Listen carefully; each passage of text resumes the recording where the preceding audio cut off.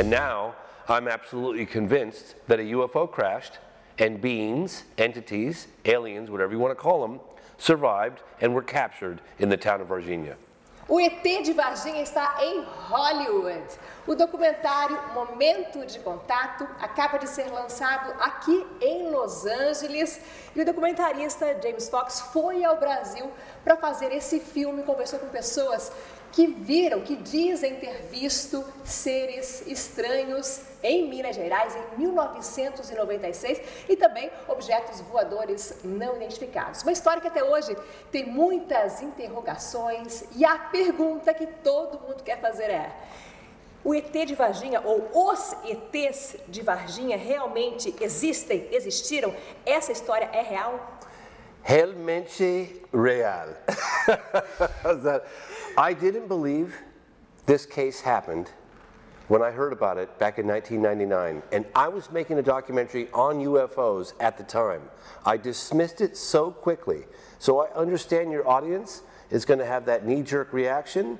This is impossible. This didn't happen. There's no way. Suspend judgment.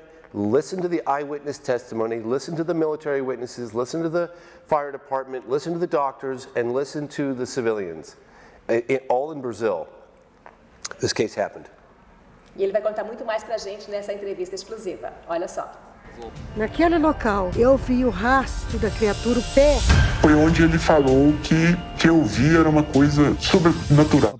Seria esta mais uma lenda urbana ou o maior segredo guardado pelas autoridades militares brasileiras? Foram 12 anos de estudos e viagens ao Brasil para coletar o material para este documentário de quase duas horas.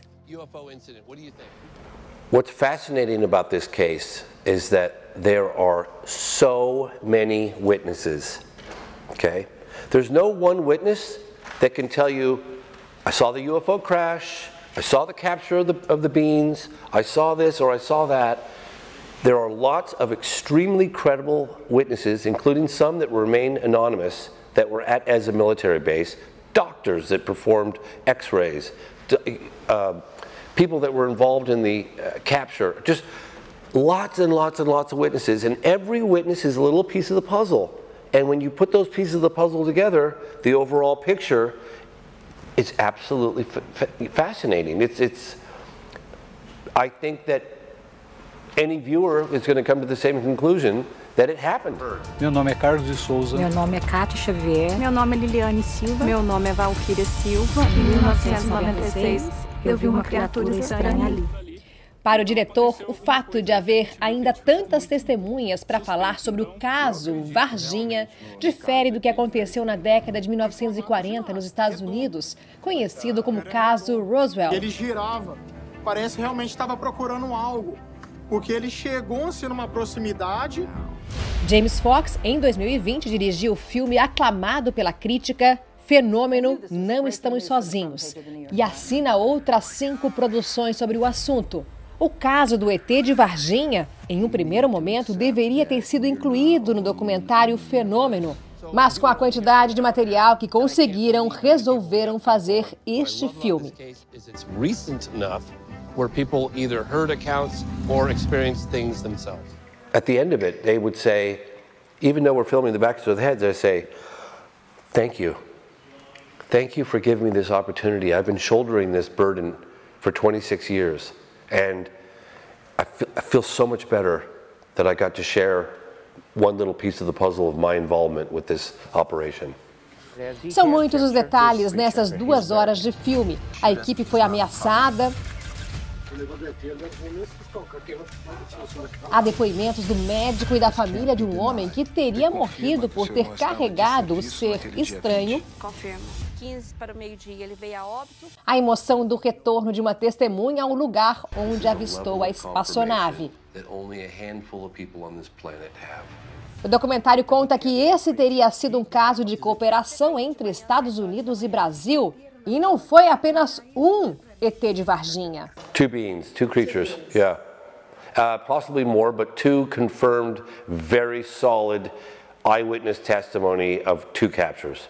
E pergunto, para onde foram levados esses ETs? It went to the United States. Is he here? Yes. But I don't know where, and I would like to find out. Documentos oficiais do Exército dizem que nada disso aconteceu. Por que seria tão difícil admitir publicamente? Think about the impact this potentially could have on organized religion or the economy. Who knows, right? So I think government secrecy it is justified, not that I agree with it, it's justified because they are going to open up Pandora's box once they admit what they do know, and they're going to expose their vulnerabilities on all the things that they don't know. And that, my friend, I think is the reason for secrecy. And any tip from where this guy came from? Absolutely no idea. Zero. I don't think anybody knows. This is a big mystery. Big mystery. It's a big universe. We are not alone here in this planet. Well, I mean, I mean, the, don't take it from me. Uh, listen to what government officials in the United States alone are telling us. They're saying the phenomenon is real. It's not us. And we don't think it's Russia or China. So it's in the category of other.